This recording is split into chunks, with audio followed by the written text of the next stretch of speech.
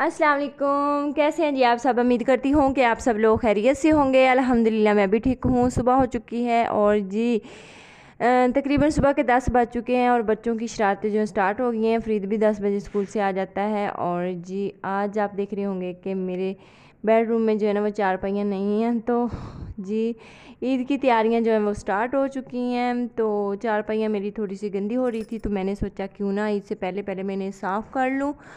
तो फिर, ये ना काम जो है ना चारपाइयों को मुझे बहुत ही मुश्किल लगता है। तो मैं इन्हें धोने के लिए साबुन को मैंने कटिंग करके गर्म पानी में डाल के, अंदर मैंने सर्फ़ डाल के फिर मैंने धोया तो बहुत जल्द जो है ना वो चारपाइयाँ साफ़ हो गई हैं। तो चार, पहले मैंने ना क्या किया, सिर्फ़ गर्म पानी, किस, कोई चीज़ नहीं मैंने डाली, सिर्फ़ गर्म पानी मैंने इसके ऊपर डाला है।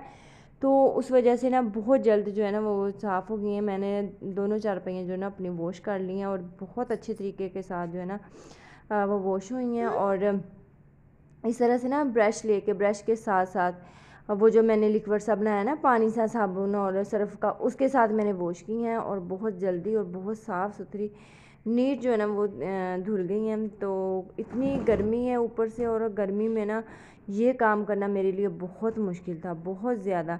लेकिन आज मैंने ना फिर भी हिम्मत करके जो है ना वो मैंने इनका जो है ना वो सफ़ाई कर ली है चारपाइयों की। तो फिर मैंने इनके ऊपर ना साफ़ पानी के साथ फिर मैंने इन्हें रगड़ रगड़ के, रगड़ रगड़ के साफ़ किया है। तो आज मैंने बहुत सारे काम किए हैं। उसके बाद जी घर आई थी तो बाहर मैंने दूसरे जिधर सब्ज़ी लगाई ना, वहाँ मैंने धोई थी।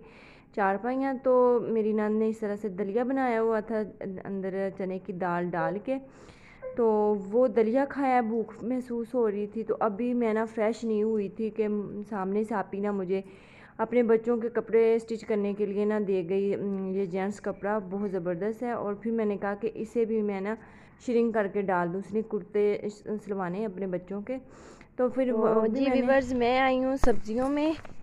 कल मैंने आप लोगों को दिखाए थे ना बैंगन।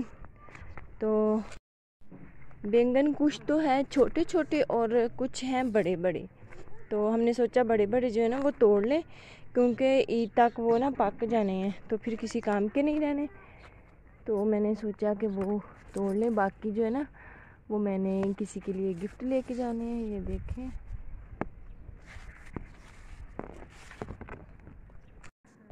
तो जी मैंने ना आगे भी काफ़ी दफ़ा जो है ना वो बैंगन तोड़ने की कोशिश की, लेकिन मुझसे ना बैंगन नहीं टूटते।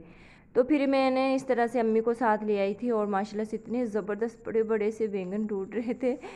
तो बड़ी, बड़ा ना मेरे दिल को खुशी हुई माशाल्लाह से आज ज़्यादा बड़े बड़े ये देखे बैंगन ना उतरे हैं और साथ फिर थोड़े से टमाटर भी टमाटर भी घर में ख़त्म हुए हुए थे। और फिर मैंने मशीन भी साथ साथ आज लगाई थी, कपड़े भी धोए हैं, बच्चों के ज़्यादा हो जाते हैं गर्मी में।